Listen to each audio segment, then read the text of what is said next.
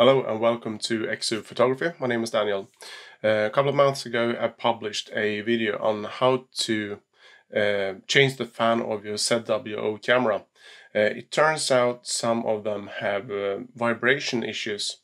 Uh, so um, I didn't have any good replacement fan, but I mounted my fan on some uh, silicon standoffs which is pretty much standard in the PC build industry thing. So I had someone laying around, and you can watch this video and uh, take a look at how I did it. And uh, but I prefer A/B tests, see if uh, something did improve. And uh, full disclosure here, um, I just haven't switched the uh, mounting of the fan. I also change my secondary mirror to a uh, better one, um, at least on paper. So I have done two modifications uh, since the uh, reference image uh, I will uh, compare to, which you will see here just shortly. We can't really tell if the mirror has done that kind of improvement and the new fan mounting has done that kind of improvement. The reason I haven't done A-B test with the particular um, upgrade is that uh, I haven't been able to photograph for uh, three months here in Sweden. It's been grey weather, um, raining, snowing, made it impossible uh, for me to, to take any pictures. There have been some clear nights, but we are talking about just a couple of hours. So, uh, but I do have one clear night. That night was also the first night uh, and the start of a new project for me. Uh, which is a mosaic project. I haven't done mosaics before, so that's the first for me. But let's dig into um, the images.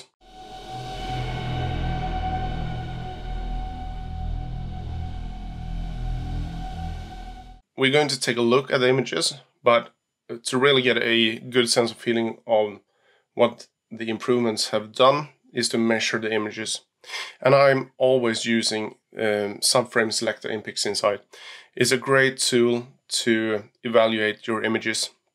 And so I've done this uh, this time too. So these first eight images, which which you can see here, is uh, eight luminance images of the NGC 4889 Galaxy cluster. And I've also taken the first eight luminance images of my M38, uh, M31 mosaic project. So same amount of um, images, uh, same pixel scale, uh, which is uh, 0.78 arc seconds per pixel. Uh, I have a thousand millimeter focal length right now. We measure those and we get um, this uh, window here, which is the graph window. What's interesting to look at is not the noise value and, and not the amount of stars. These are two uh, completely different kind of images, so we won't compare a galaxy cluster with the M31 Galaxy. That's not what we're going to do today. We are going to first take a look at the full width of maximum. Okay, so the first eight images in the stack here is the uh, old images uh, which I took before the uh, new mounting of the fan but also the new secondary mirror. And as we can see here, the first image here, uh, quite good for width half maximum value. We want as low number as possible and that's the star size basically, how well focused the star is. As you can see here, it scatters all over the place up and down and this is the last image of this stack.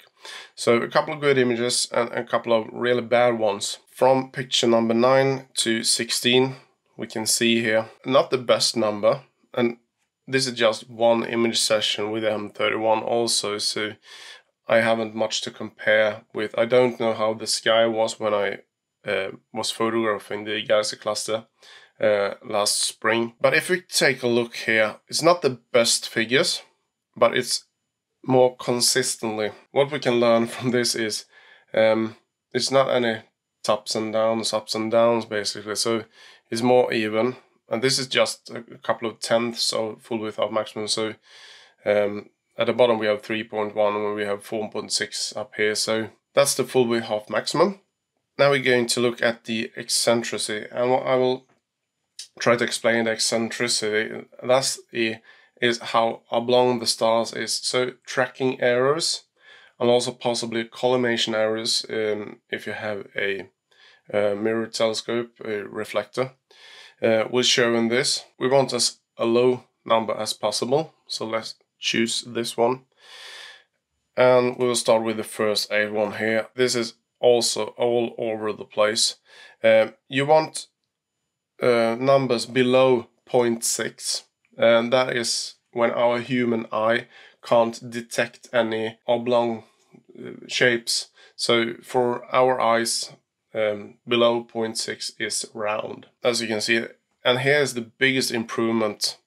It's all over the place um, with the last picture. Okay, so this number here, number index 8, is the last image of the first stack from spring, 0.68. And is all over the place as you can see. Then we move on to index number 9 to 16 which is the images I photographed just a couple of days. The first one is so-so but look at the rest. Um, all of them is below 0.6.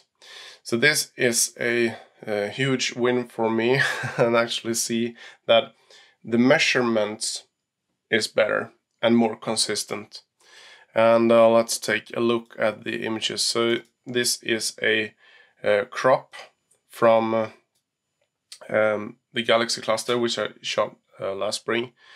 It's a three minute exposure nothing done with it. This is just straight out of the camera which um, I have a automatic stretch applied to it. So it's a screen uh, screen transfer function stretch. As you can see, the stars is okay, but some of them have uh, some kind of funny shape. Um, you can see it in more stars. Perhaps that is um, the old secondary mirror.